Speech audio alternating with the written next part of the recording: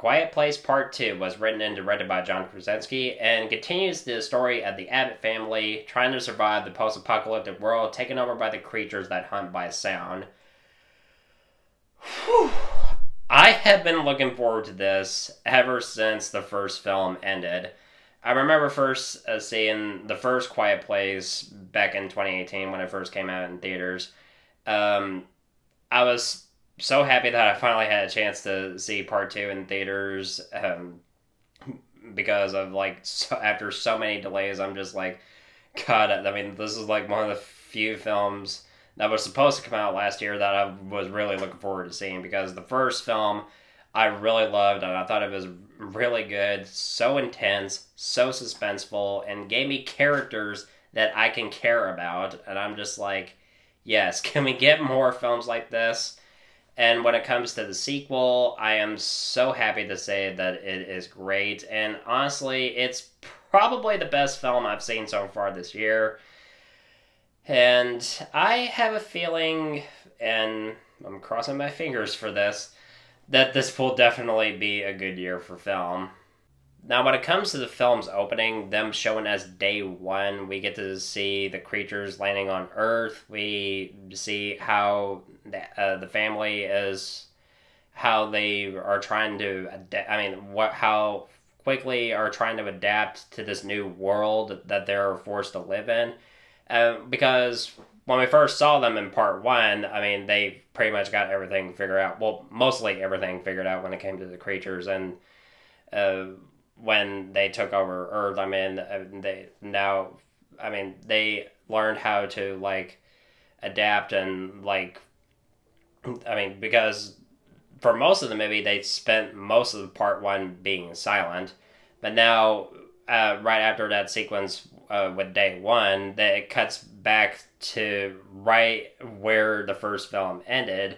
I mean, it picks up right after the events of part one and right i mean from then on i mean just like the first film it's very intense very suspenseful and it, uh, one of the uh, one of the few things that it does well and, it, and in a good way it amps up the tension more than the first film because yes uh, when you watch the first film I, I think like the one scene that uh, had the most um, uh, like the best level of tension in my opinion. and I'm pretty sure a lot of people will agree with me on this.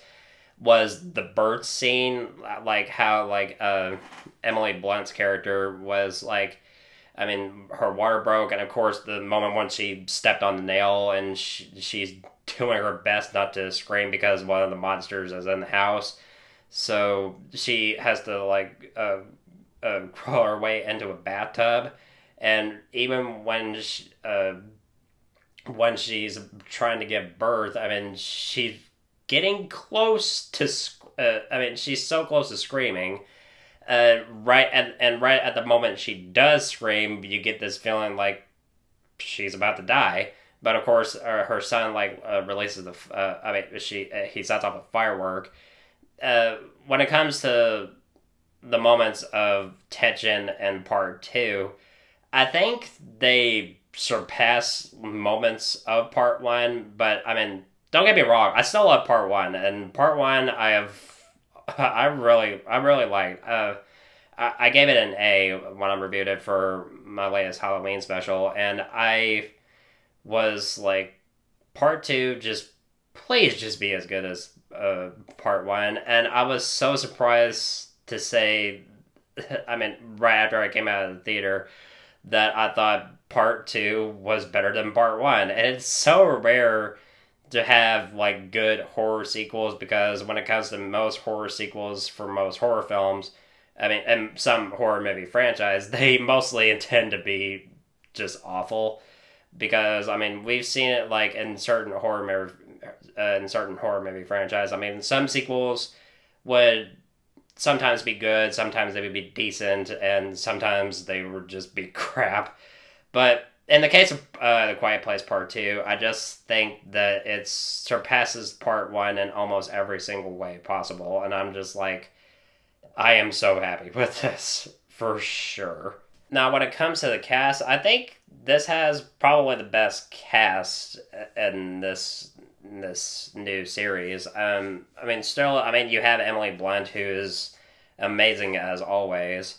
Uh, but really, when it comes to Millicent Simmonds, bless her soul, she is amazing in these movies, uh, especially for an actress who's actually deaf in real life playing a deaf character. I mean, I'm glad that John Krasinski went out of his way to find an actual, I mean, a deaf actress, and I'm pretty sure it's not really uh, an easy task, but Millicent Simmonds really makes it work, and I really want to see her like act in like more projects because I really love her work in the in the Quiet Place movies. Cillian Murphy also really surprised me. i I thought he was like he was really good in this film, and uh, we see in the flashbacks that uh, we see that he's a friend of the family, and uh, throughout uh, the events of the invasion, uh, his wife and son have died,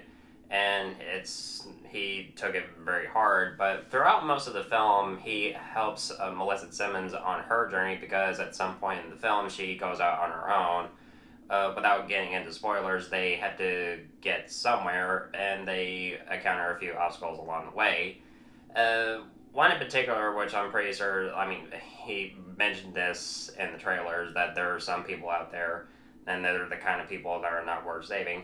They run into these people, and it leads to a very intense sequence, which I don't want to give away. Noah Jupe, I thought was also pretty good. I mean, I liked him in part one, but what he, uh, well, what he goes through in part two, he goes through a lot of shit Namely, a moment where he gets caught in a bear trap and he's like screaming in agonizing pain, rightfully so. And uh, right when they uh, meet up with uh, Cillian Murphy's character and they take him to to uh, right when he takes them to their bunker, uh, I mean it's soundproof, so they had to pour alcohol on his wound, and he, of course he's screaming in agonizing pain that had me wincing, and I'm pretty sure a lot of people would say the same thing. I saw this with a few friends of mine, and they did the same thing, and, they we were like, "Holy shit!" And I was surprised of how far they would go with the PG-13 rating because this easily could have gone for an R, and if it did, I mean, the, uh, I'll be I'll be surprised of what they could have managed to do if they did have an R rating, but I, I can understand they wanted to go for a PG-13 rating but still, I mean, it's definitely some of the most hardcore when it comes to how far they would go. I mean, how far the PG 13 limits would go. Because that was just. Even with that rating, it's pretty intense, and that's saying something. And I was watching this film like a hawk when it comes to trying to look for flaws and I honestly did not see anything that was particularly wrong with the film. I I would go so far as to say it was even better than the first film. And there was just so much that I loved about it. I mean, of course, John Krasinski's writing and direction is spot on. I mean, I really want to see him direct more films like this. And of course, there's an indication that there's going to be a part three. And I mean, of course, I mean, if they do make part three, I am all in. I'm oh well. He has. I mean, John Krasinski apparently has a script uh, ready for part three, but of course it's not green lit yet. But once that's ready, I am all in because I love this series so far, and it shows no signs of slowing down. The performances are amazing; they're spot on, and when it comes to the levels of intensity, tension, and suspense, it's. It has you on the edge of your seat, and this is the cut. This is the type of horror film that I always want to watch, and I wasn't bored, and I just thought the film was just as great as the first one, or if not even better than part one. And I'm really surprised to say that. So I'm gonna give a Quiet Place Part Two an A plus. Ah,